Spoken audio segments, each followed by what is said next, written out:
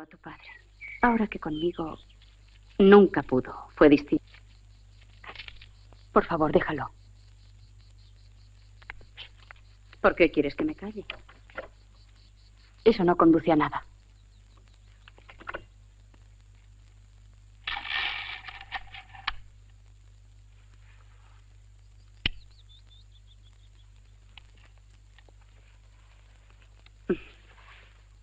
Vamos a estar un poco apretadas.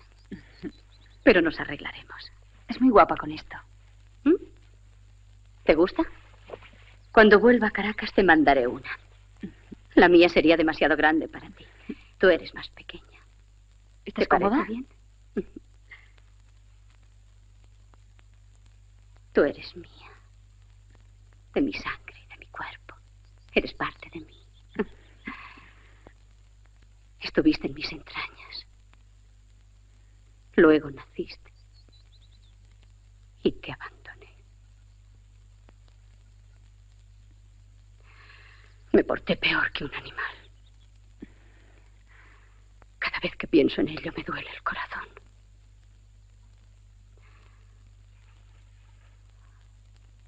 ¿Cómo pude hacerlo, Dios mío? Por favor, no volvamos a empezar. No hablemos más de eso. Que me haces pasar un mal rato. ¿Mm? Sí. Tienes razón, lo siento. ¿Me prometes que nunca más hablarás de ello? Prometido.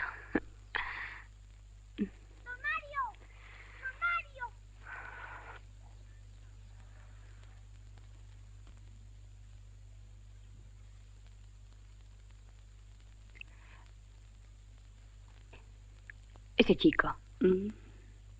El hijo del diplomático. ¿Mario? Sí. ¿Qué le pasa?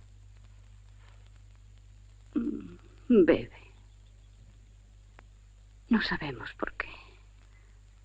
Qué lástima tan joven.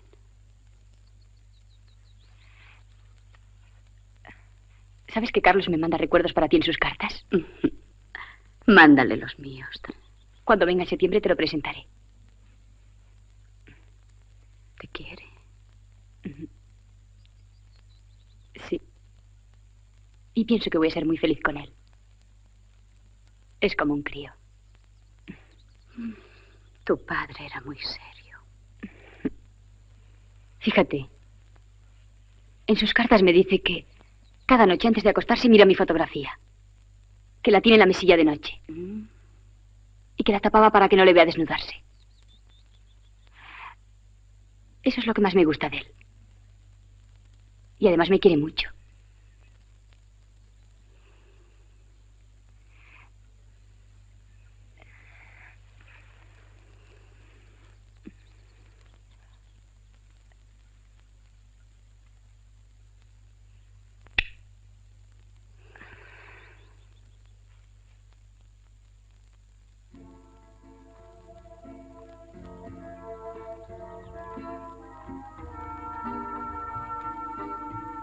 Luz.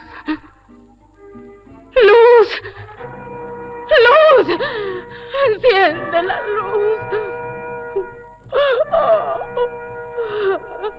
Me da miedo la oscuridad. No puedo dormir. Si está apagada, no puedo dormir.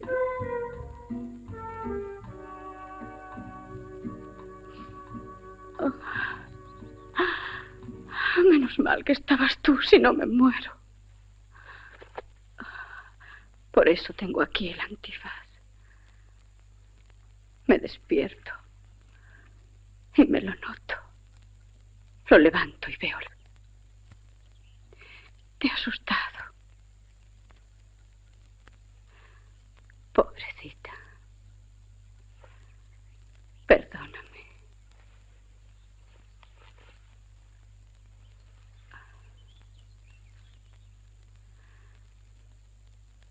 Ahora intenta dormir.